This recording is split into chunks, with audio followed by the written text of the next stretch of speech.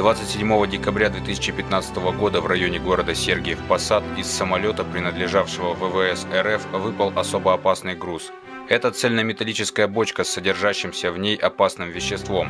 Вещество попало в воздух и поразило близлежащий лес.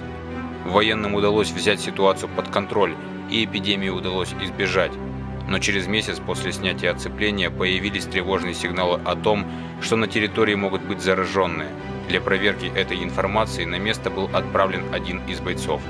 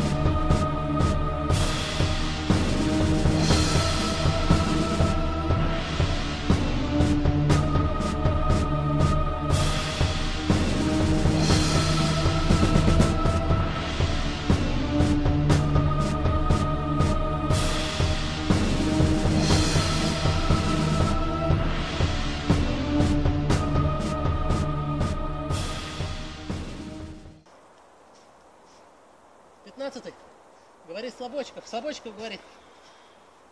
Это настоящий кошмар. Они со всех сторон. Такого не было даже в Афганистане. Высылайте подкрепление срочно. Срочно высылайте подкрепление.